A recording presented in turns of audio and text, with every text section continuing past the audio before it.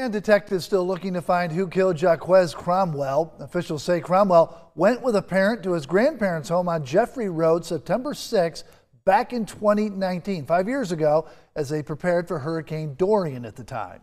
Deputies say at one point he walked away from the home and was met by someone who shot him on a dirt path between Jeffrey and Honey Hill Roads. Officials say at the time a person found the teenager's body near the woods, which was commonly used as a pedestrian path. Anyone with information asked to call the Charleston County Sheriff's Office.